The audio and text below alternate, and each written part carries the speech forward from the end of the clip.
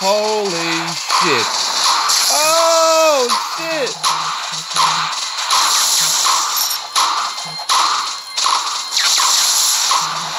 Damn. the game was fire though.